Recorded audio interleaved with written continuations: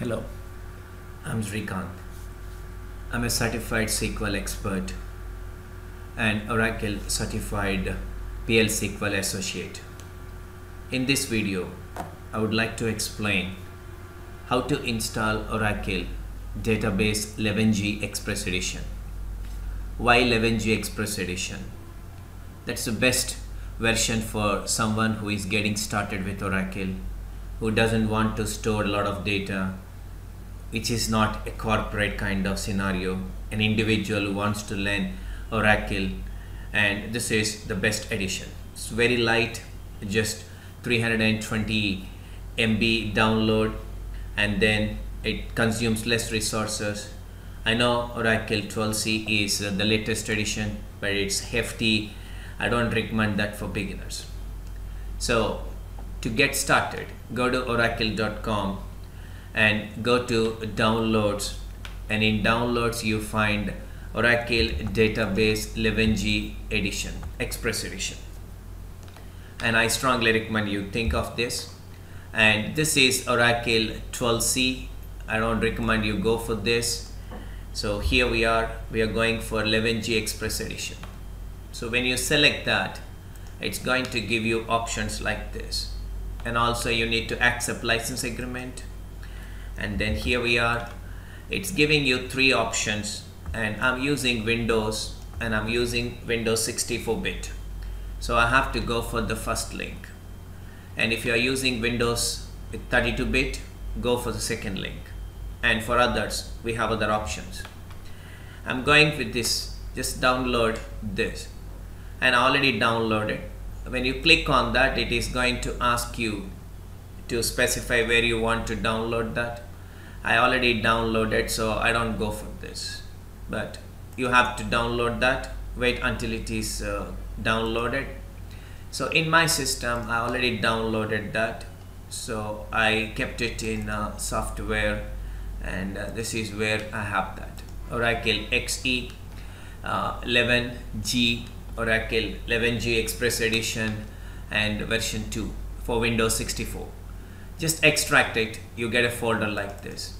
In that folder you get disk 1 in that folder you get setup.exe just double click on setup.exe the installation will start.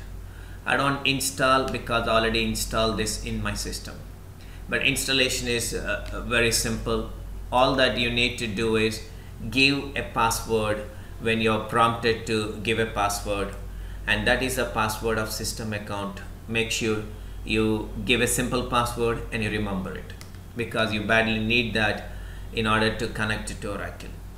So uh, that's all you need to do to install, nothing else. Now, once Oracle is installed, the next thing you need to do is download a tool called SQL Developer. This is uh, a very user-friendly and very powerful tool from Oracle, absolutely free. So just go to SQL developer and this is where you get a couple of options.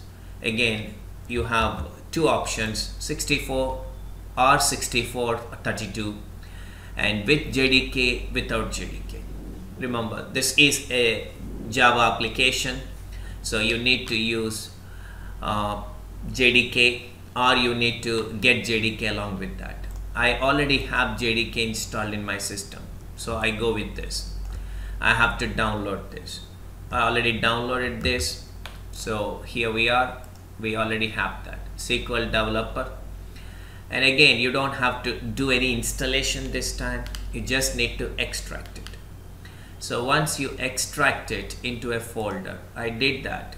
I already extracted that into Oracle folder in D drive and a folder called SQL developer is created. And just go there and double click on SQL developer.exe that's all you need to do.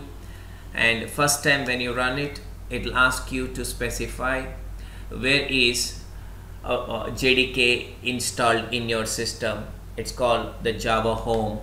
And in my system JDK is installed in C drive and in my system it is installed in JDK 8 of C drive. So I just mentioned and that's all you need to do. So here is your SQL developer and I'm talking about SQL developer. Well let me close a few things. And now this is how you get started with SQL developer. Just double click on that uh, exe file it starts. And here on the left you have to create connections. So click on plus sign and create a connection. And the first connection is for system account.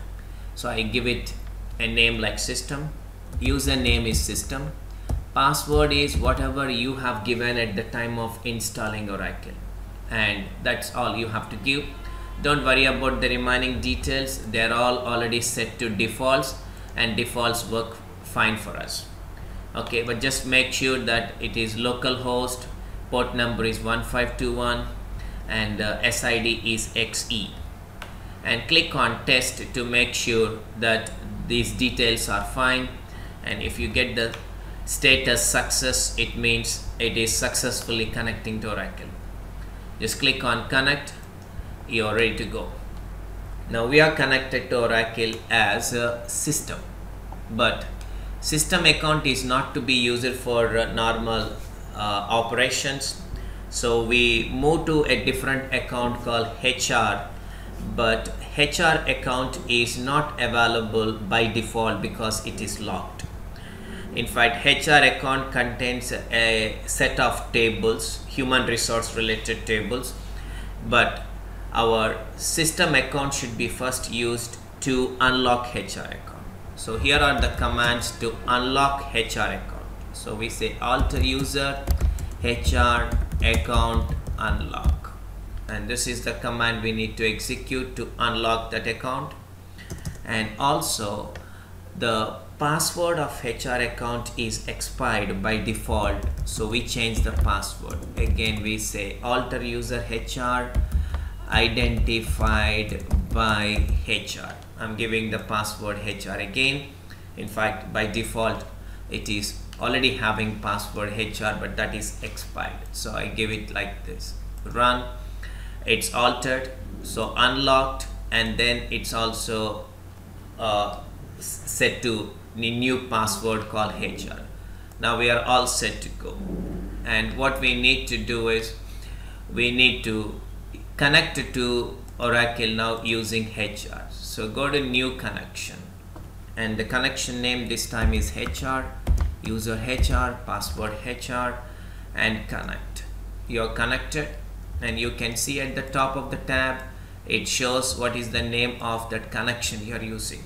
Now I'm using HR and I can go to HR account and I can give some commands and SQL developer does give you some assistance like what tables you have and so on. You can for example select jobs click on run and this is the button to run and you see the list of rows. So this is all that you need to do. So if you know Oracle uh, this is uh, the tool I strongly recommend you use to learn what is what.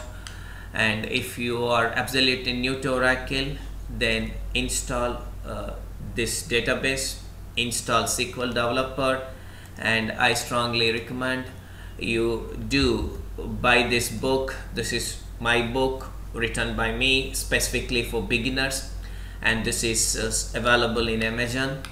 And this is a Kindle edition. But remember you don't need to have Kindle device to read it because Amazon provides Kindle application for uh, all devices okay all smartphones etc so you need to just have a, a, Kindle application to read any Kindle book. Not just mine any Kindle book okay? So this is my book specifically written for beginners and it covers both SQL and PL SQL to the required extent. So I strongly recommend you go for this, install those softwares that database 11g, Express Edition and then a SQL developer and then you're all set to go. So this is uh, what I want you to do as a beginner. If you take these steps, you're ready to go and you can learn how to deal with Oracle. Hope this is of use to you. All the very best. Keep learning. Bye bye.